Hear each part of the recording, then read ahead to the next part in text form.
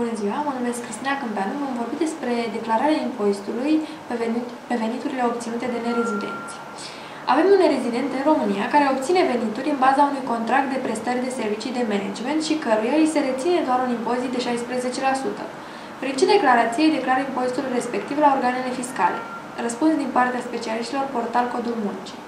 Conform articolului 115 alineatul 1 litera I din Codul Fiscal, veniturile din prestarea de servicii de management sau de consultanță din orice domeniu, de la un rezident sau dacă veniturile respective sunt cheltuieli ale unui sediu permanent în România, constituie venituri impozabile obținute din România, indiferent dacă veniturile sunt primite în România sau în străinătate.